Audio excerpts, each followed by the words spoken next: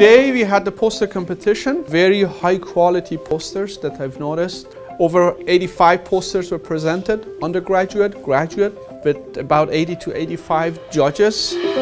I researched the Wiesel-electric effect, um, and that is a coupled phenomena. Um, it has to do with the flow of a dielectric fluid and um, the electrostatic current that it produces. Before I did this research, I've never even heard of this phenomena. Here at UWM, we believe that it's important that students participate in research activities. This is a kind of experiential learning where students learn by doing.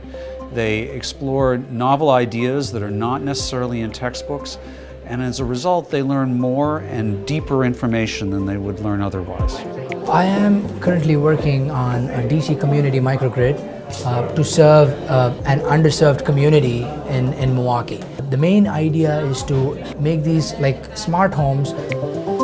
Getting the recognition of R1, I think it puts us in, in a higher level. So an R1 designation is the highest possible research designation from the Carnegie Institution. It means for undergraduate researchers that they're exposed to some of the best ideas, the best knowledge creation, um, the, the cutting edge theory, the cutting edge practice, and it also reinforces the partnerships that we have.